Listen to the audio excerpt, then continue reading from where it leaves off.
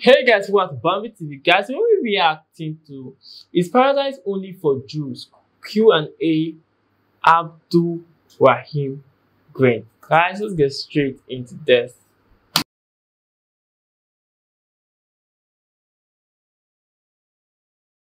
And we have another question from a, a yet to be Muslim here now. Oh, I'm already Muslim. Oh, you're already. Oh, that's not what they told me, bro. Sorry. I recently turned Muslim three months ago. Oh, excellent. Sharif. Takbir. Allahu Akbar. Alhamdulillah. MashaAllah. Takbir. Uh, I don't yet know whether I can go ahead and ask you three questions, brief questions. Okay. One, you said you had a friend in the UK who went and asked the chief rabbi Yep. whether he would go to paradise Yeah. since he was a non-Jew. So the reason, the question is, why would me and you practice Islam and Christianity, yet you already know we're not Jews and we wouldn't go to paradise? Yes. The difference is here is that being the difference here is, um, of course, as Muslims, we we look at Judaism from the point of view of a religious belief.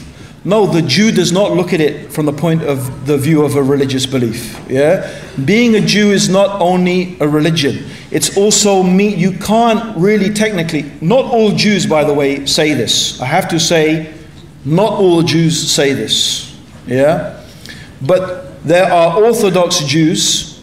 I mean, an Orthodox means they claim that this is the proper way to understand the religion. Yeah.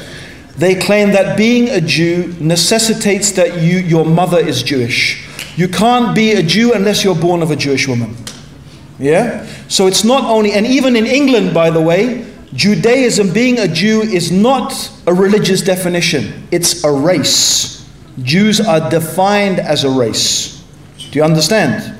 Okay? So, and this corresponds to what, with what many Jews believe. Yeah? So, do you see how it's highly problematic? It means that you have to be born of a particular, you know, uh, from a particular race, not depending on your deeds or your actions or your belief. Yeah? So, that's, that's the problem with it, that I said. Yeah? Okay? Thank you very much. I believe Paul answered this question. I was when they were asking him about circumcision in the Bible, and he was like, For the fact you're not circumcised does not mean you will not make heaven.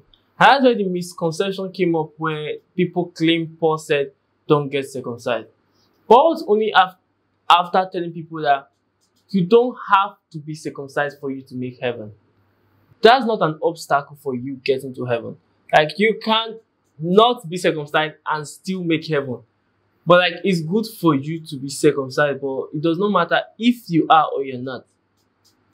Heaven is a place where we can get to by our work, but we can get to by the grace of God.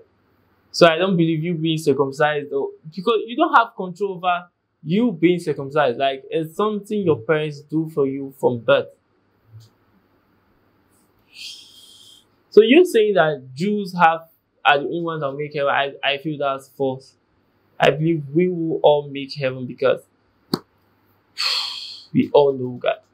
Guys, this is show Scott from channel. I'll see you next time, guys. Guys.